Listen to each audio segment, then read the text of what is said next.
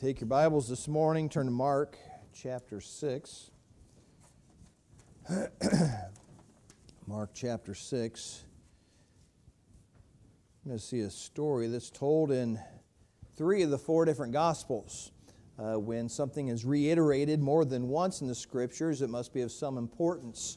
And we see this story in Matthew chapter 14, here in Mark chapter 6, and also in Luke chapter 9. And uh, basically, it's the story of the boy with the loaves and the fish. And typically, in this story, the, the boy, the young boy with the loaves and his giving heart and things, is a focal point of the story. Uh, but I'm going to give you my outline this morning before we even begin, uh, because we're going to be looking at different characters throughout this passage. Uh, we're going to be looking at the disciples, uh, we're going to be looking at the congregation, and then we're going to be looking at Jesus Christ and his attitude toward these things. Uh, so the boy is not going to be a part of the message this morning, other than the fact that he gave his lunch. But there's much to be learned from this passage of Scripture, and I think that uh, looking at the congregation, looking at uh, the disciples, and looking at the attitude of Jesus, there's something in the story for each one of us uh, today, and hopefully uh, you'll listen attentively and, and, just be praying and asking God to, to give you what the Lord has for you uh, from the Scriptures. Let's pray and then we'll read this. Father, again, we thank you for your blessing. We thank you for the opportunity you've given us this morning to uh, come to your house to be able to hear from your word. I pray that you just uh, use this story in the Scriptures, uh, reiterated three times throughout the Gospels uh, Lord, for a purpose. And I pray that you'll show each one of us that purpose for us this morning uh, through this passage. And I pray you'll use it for your honor and glory's sake. I pray that good decisions will be made that need to be made today. We ask and pray this in your name. Amen. If you look there in Mark chapter 6, we'll read verses 7 through 13, and then we'll skip on down to verse 30. Starting in verse 7 of chapter 6, and he called unto him the twelve and began to send them forth by two and two, and gave them power over unclean spirits and commanded them that they should uh, take nothing for their journey save a staff only, no scrip, no bread, no money in their purse, but be shod with sandals, and not put on two coats. And he said unto them, In what place soever ye enter into a house, there abide till ye depart from the place. And whosoever shall not receive you, nor hear you when ye depart thence, shake off the dust under your feet for a testimony against them. Verily I say unto you, it shall be more tolerable for Sodom and Gomorrah in the day of judgment uh, than for that city. And they went out and preached that men should repent. And they cast out many devils and anointed with oil many that were sick and healed them. You said, Pastor, you're just messed up in the head. You told us this was a story of the boy and the fishes, uh, the bread and the fishes. Um, well, I had to lay a foundation here uh, because the disciples is part of this story and I want to show you what's happening before this all takes place. Now look at verse 30. Verse 30 it says, And the apostles gathered themselves together unto, Jews, uh, unto Jesus and told him all things, both what they had done and what they had taught. So we see Jesus sending the disciples out two by two. Uh, they're going out, they're preaching with the power of God, miracles are being done and they come back and they begin to explain to Jesus everything that took place. In verse 31, he said unto them, Come ye yourselves apart into a desert place and rest a while. Here, I'm sure they're looking forward to this rest. Here they've been out on the, on the road, they've been traveling, uh, you know, they've been rejected in some places, accepted in others. Uh, they're excited, but I'm sure that they, like many of us, are just glad to have a vacation. You ever working and you know, it's the last day of work before vacation, you just don't feel like you get a whole lot done because you're already mentally on vacation. Uh, this is where the disciples are at right now. In verse 32, they departed into a desert place by ship privately. And the people saw them departing, and many knew him and ran afoot thither out of all cities, and outwent them, and came together unto him. And Jesus, when he came out, saw much people, and was moved with compassion toward them because they were a sheep, uh, as sheep, not having a shepherd. And he began to teach them many things. And when the day was now far spent, his disciples came unto him and said, This is a desert place, and now the time is far, uh, far past. Send them away, and they, uh, that they may go into the country round about into the villages and buy themselves bread, for they have nothing to eat. He answered and said unto them, Give ye them to eat. And they said unto him, Shall we go and buy two hundred penny worth of bread and give them to eat? He saith unto them, How many loaves have ye? Go and see. And when they knew they say five and two fishes, he commanded them to make all sit down by com- companies upon the green grass. And they sat down in ranks by hundreds and by fifties. And when he had taken the uh, five loaves and the two fishes, he looked up to heaven.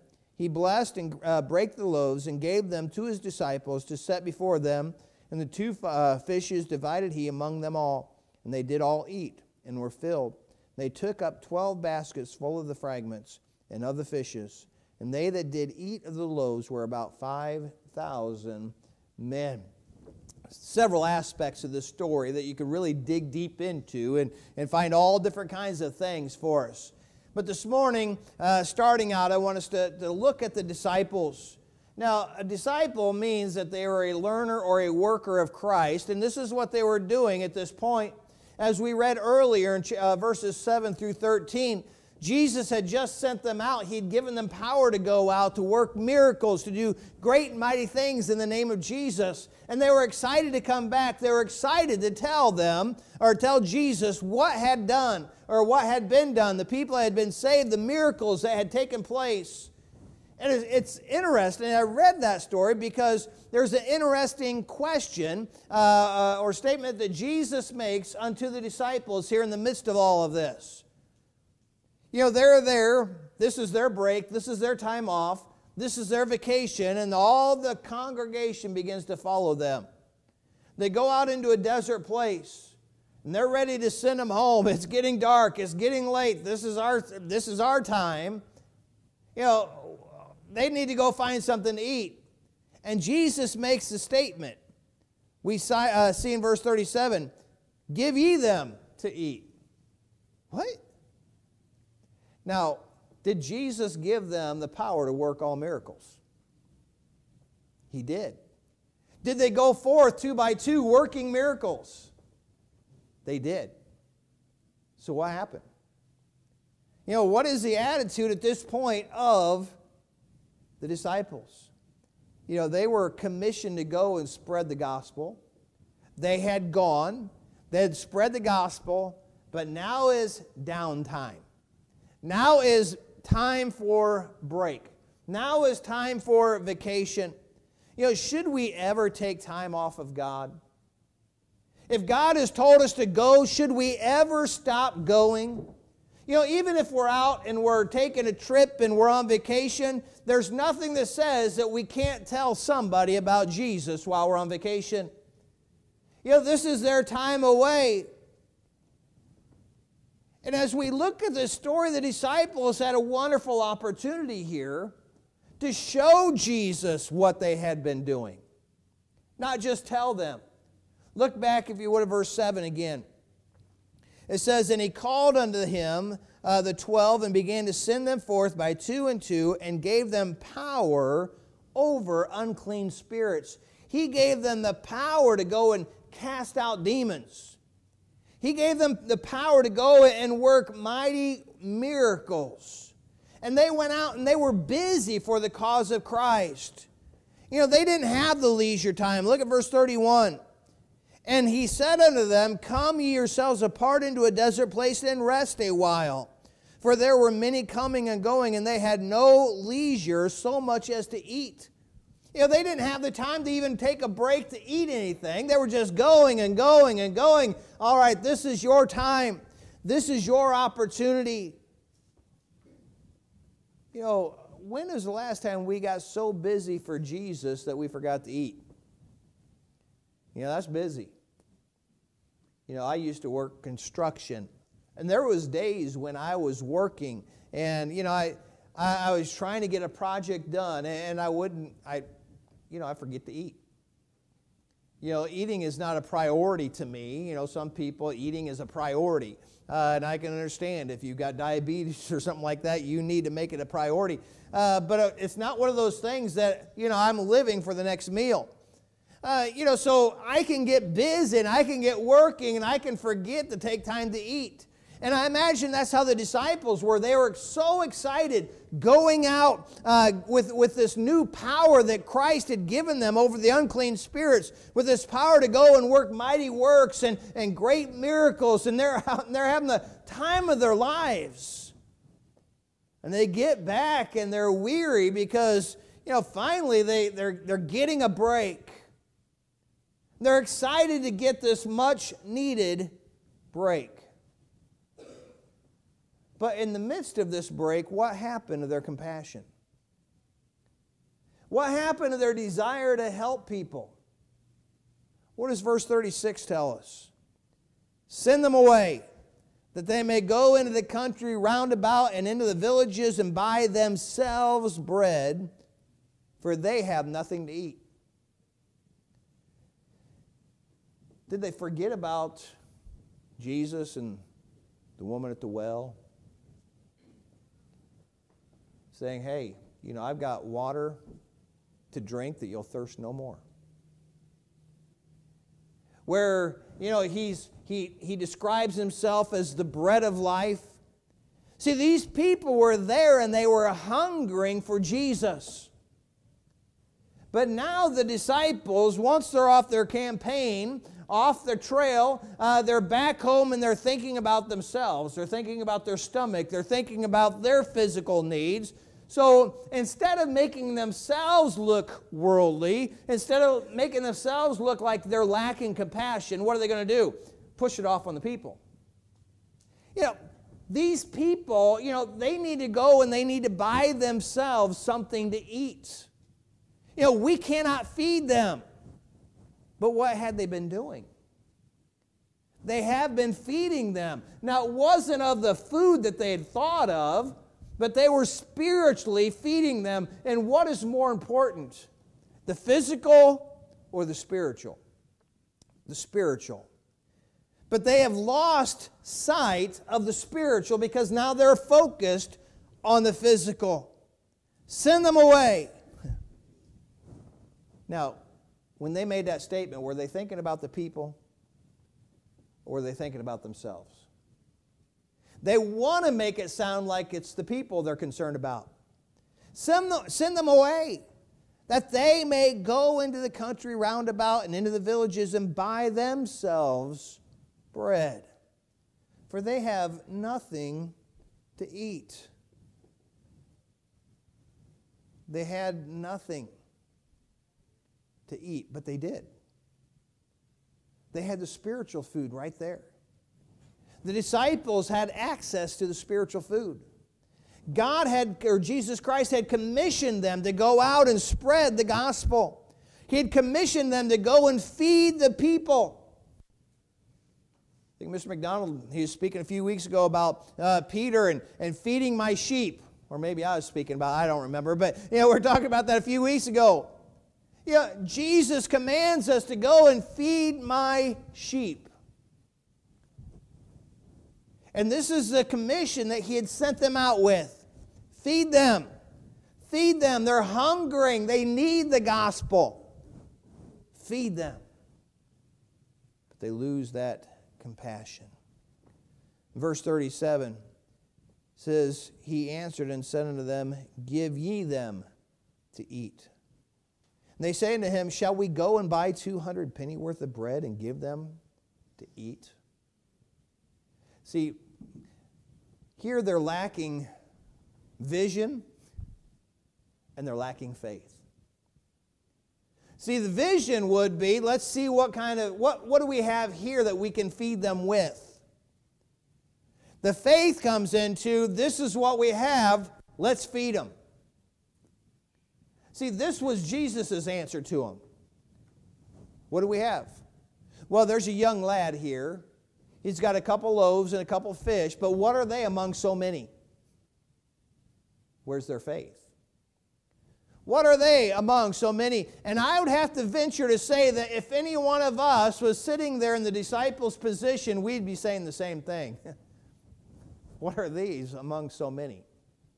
Because are we going to feed even our church on fellowship night we come in and there's two pieces of fish and a few little biscuits sitting there on a plate. we're going to be saying, man, this is the lousiest fellowship ever. It doesn't matter how good the fish is or how good the biscuits are, we're going to be saying, man, there's, there's not enough here. This cannot feed all of us. And every one of us, no matter how spiritual we think we are, would be saying the exact same thing the disciples were saying here. What are they? Among so many.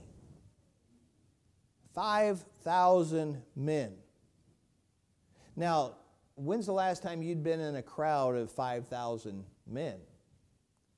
I'd have to venture to say that the last time I was in a crowd that had 5,000 men plus women and children was probably uh, at a professional baseball game.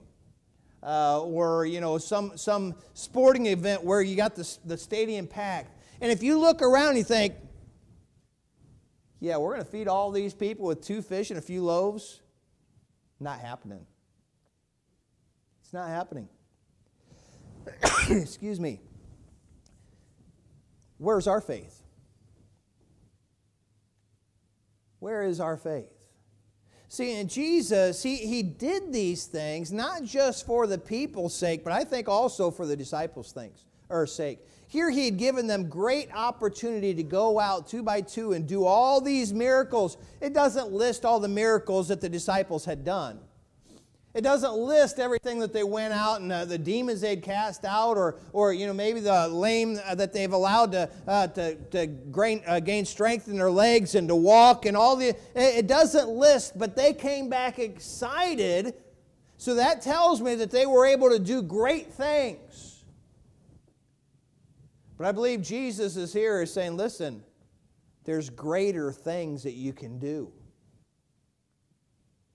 Yes, you did great things, but you still lack faith. You did great things, and I, I believe that this also is used as a, a lesson of humility. Because they come back boasting of great things. But yet, who did the greatest thing? Was Jesus. It was Jesus. And I, I think that he, he needed to make them realize, knock them down a notch, saying, Listen, I've given you the power, I've given you the command to go. You, you fulfilled it. You did a great job. You went out and, and you, you went and, and uh, ministered and, and did great things. But when you come back and you're lacking the compassion for the people, I think you're missing the boat because your focus is on the great things. It's not on the people. It's not on the people. And Jesus sets the people down into groups and, and he begins to break the bread and break the fish. And the disciples are being used as servants, go out and they begin to pass out the fish, the bread. And as a result, they're all fed. Then he says, All right, go out and gather up what's left. And they gathered up more than they started with. Well, how does that happen? Jesus. Miracle took place. Where was their faith? Again in verse 37 Give ye them to eat. You know, these were the same guys who were given the power to heal, the same power to cast out demons. He was giving them this opportunity to perform this miracle. But where was their faith? How many times do we miss out on God's opportunities for us to do something great, but we lack the faith? We lack the faith. See, God wants great things done from us here at Old Paths Baptist Church. He's wanting to use you to do great things, but often I think that we find ourselves in the same position the disciples find themselves in, lacking faith. See, they were willing, but their faith was weak. In verse 38, he says, He saith unto them, How many loaves have ye? Go and see. And when they knew, they say, Five and two fishes. Christ said, Go and see, and they in obedience went to see. You know, they didn't question his commands, they didn't question his judgments, they didn't question the call of Christ. And when asked if they would feed them, they didn't have the spiritual insight to see uh, what they had. They didn't even take time to look. It took Jesus giving them this insight. This is a, a big uh, training uh, for, or a teaching point for the disciples. Jesus is using this as an opportunity. I think, again, many of us fall into this category with the disciples. I think we have a heart to do something for God. We want to do something for God.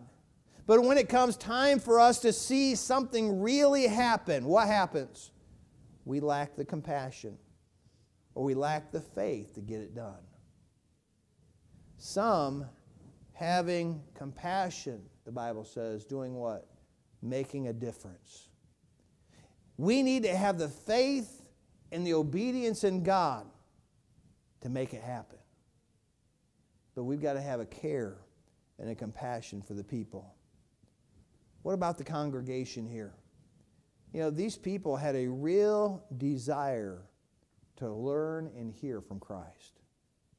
They had a real desire. Look at verse 33. And the people saw, uh, saw them departing, and many knew him, and ran afoot thither out of all cities, and outwent them, and came together unto him. First thing that we see about the congregation here is they followed him. Where did they follow him to? I believe they followed him into a desert place. They followed him into a place where there was uh, heartache, a place of suffering. You know, the, the desert isn't somewhere that you just go to take a hike. You know, it's not somewhere where you go spend a day of vacation. You know, they went to the desert place to hear and to learn about Jesus. You know, the desert is a place where food and water uh, supplies are in a shortage. It's not some place where you go and, and just think that you're going to be able to buy water at the next convenience store. You're not going to buy bread at that next uh, you know, stop along the way. Uh, it's a desert place. And they were willing to follow Jesus really without the necessary things of this world to get close to Him. See, this says something to me about the congregation. They had a desire to learn about Jesus. They gave up the cares of the world to follow Him. They gave up the job that they were working at the time. They left their family at the time, or they grabbed their family by the hand and said, Listen, let's follow Jesus. They had a care, they had a concern to follow Him. In verse 39, in verse 40, it says this and he commanded them to make all sit down by companies upon the green grass, and they sat down in ranks by hundreds and by fifties. So we see Jesus commanding the disciples to get the congregation together and to set them down into groups. And what they do? They listen. They sat down. They obeyed him. So here is a, a group of people that have a real desire to follow him they catch up with him, they obey him. Now, I'm not sure they had a clue as to what Christ was getting ready to do. You know, I don't, I, I don't imagine they thought, well, we're going to sit down, we're going to eat, we're going to have a good meal, we're going to listen to the teachings of Christ. You know, I, I don't have any idea, and I don't think they had any idea what Jesus was getting ready to do, but they obeyed anyway. You know, so often you know, we get into an argumentative mode with Christ. God tells us to do something. Well, why would you want us to do that?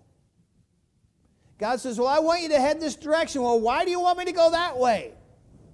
And we start acting like little kids. We've got to know the answer. But that's not faith. Faith is listening to God getting direction from God, and doing what God tells us to do without question. That's what these people were doing. Because of their obedience, they were able to be a part of God's blessing. Because they listened to Him, they were blessed.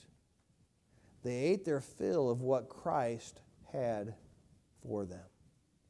Verse 42 says, And they did all eat and were filled. You know, if we're filled on what Christ gives us, I bet you that was the best meal those people had ever eaten. You know, Thanksgiving's coming up. You know, Thanksgiving is the holiday to get fat. You know, that is the fat, the first of the fat season. Uh, Thanksgiving. You know, so we, we look and we plan for this great big meal, and, and boy, it's going to be the best meal of the year. We're going to have the, you know, the, the roast beef, or we're going to have the turkey, we're going to have the ham. You know, we're going to go out and we're going to go uh, pull out all stops, and we're going to be making cookies and cakes and, and stuffing and mashed potatoes and gravy, and, and it's just going to be a spread, and we're going to eat and eat and eat, and boy, it's going to be a wonderful day. until that evening when we're so sick uh, that we ate too much. Uh, but it's going to be a great day. And you look back at past Thanksgivings, and you know, and, and everybody's mom is the best cook, or everybody's grandma is the best cook. Uh, you know, so you look back at past Thanksgivings and you think, boy, that was a wonderful meal that grandma made. That was a great meal that mom made. Boy, that was great. And we look, but you know what? I don't think there was a better meal than the meal that Jesus made. They ate and they were filled. Whenever we take and we eat that which Christ has given to us, do we eat until we're filled on it? You know, look at your own devotions this morning. Did you take the time to get filled off of what Jesus had for you? Did you take the time to learn from the scriptures and get what He wanted for you in your life?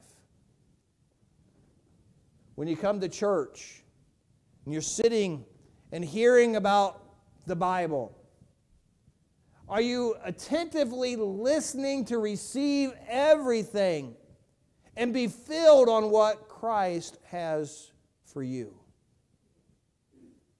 See, that was the eagerness of the congregation. As a Christian, we need to have the power. We need to have the faith. We need to have the obedience in our life to be Christ like. To be Christ like. We're not commanded to be like Him, but we are commanded to be Christ like. There's a difference. See, there's no way we could be like Christ. He was perfect. He didn't have that sin nature that we are born with. But we are trying, or we should try and strive to live like Him to the best of our ability. And that brings us to the third individual in our story. We see the disciples, we see the congregation, but what about Christ? We know that He was a teacher of the people, just as we should be a teacher of the people. As we go out as a Christian and we're living our Christian life, we ought to go out and we ought to live a life, an example, a testimony, teaching others how Christians ought to live. Jesus taught with his life and his actions, just as we ought to be teaching with our life and with our actions as we go to our jobs, as we go through our daily lives, you, you young people in school, as you go forth, you ought to be teaching with your actions that this is how a Christian ought to live.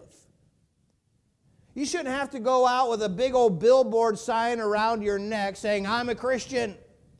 You shouldn't have to go out saying, Hey, I'm a Christian. We shouldn't have to go out and yelling it from the rooftops. People ought to just know that there's something different about that individual because he lives different than most people. We ought to have that testimony as we go out and we teach with our life. We know that Jesus, according to this passage, taught the things of God with compassion. He had compassion on the people. When we have compassion on people, that means that our cares aren't so important to us anymore. Our own personal concerns, our own personal cares. When we have compassion on people, we're going to leave our needs and our desires behind and focus on the needs of others. That's compassion. And Jesus had compassion on the people. We know that he was well versed in the scriptures. He was the scriptures. in the beginning was the Word, and the Word was with God, and the Word was God. We are to be like Christ, being well versed in the Scriptures, so that when we go out having compassion on people, we can take the Scriptures, we can take the Word of God, we can take the gospel to individuals and say, listen, out of a heart of compassion, out of an example of my life that I'm living, this is what Christ has done for you. This is what he has to offer, and this is what you need to do to have that fulfilled Christian life. How do we as Christians compare to Christ as one who teaches? Do we teach by our example? As Jesus did? Do we teach with compassion as Jesus did? Are we well versed in the scriptures as Jesus was? There was no limitation to the power of Christ. And I think so often we limit ourselves just as the disciples limited themselves. There was no limitation to their power. There is no limitation to our power. The Bible tells us in Acts chapter 1 all power is given unto you in heaven and in earth. Go ye therefore and preach the gospel. Are we utilizing the power that has been given unto us? Oh, we've got stories we can tell about how we've gone out and boy, how God has been able to use us to see maybe a soul saved here or a soul saved there. And boy, we get excited about those things. Just as the disciples got excited about going out to the different communities and the different towns and, and working the miracles and doing those things. But in our own personal life, can we say that that's a, a way of life? Or does our faith hinder us when it comes to really showing who Christ is? Again, verse 34 says, He had compassion on the people. When he came out, saw much people, and was moved with compassion toward them. How compassionate are we toward these kids that we have downstairs that come from Many of them come from broken homes. I know mornings like this morning. It can be trying. You get kids that want to mouth back. They don't want to shut up. They don't want to listen. They want to be a distraction. You know, I'm not saying that you just let them continue to be there because you got such a compassion. Sometimes you got to remove them so others can learn about Christ. And we ended up having to do that this morning with a couple kids. But do we have a compassion for these kids? You know, I work with these kids on a daily basis. And it'd make your head spin if you knew some of the situations these kids have to grow up in. You know, I, I, I hear and I see how some of these kids have to live day after day after day, and it burdens me for these kids. And it'd do you good maybe to go out on a Saturday with some of these bus workers and make visits to see some of the homes these kids have to, to live in. They don't have a choice. That's their home. And many of them don't realize, but that's their normal. So they don't realize how bad they've they may have it. But do we have a compassion for the children? While the disciples thought about the food they were lacking, Jesus Christ was thinking about the food that the people were lacking. That was the spiritual food. We need to take Christ's example and see what he can do with us today. Do we have the compassion to make the difference? He's given us the opportunities, He's given us the power. But we've got to have the desire, we've got to have the drive, we've got to have the compassion. Where is our faith? The Bible says some having a compassion, making a difference. What kind of a difference are you going to make for Christ?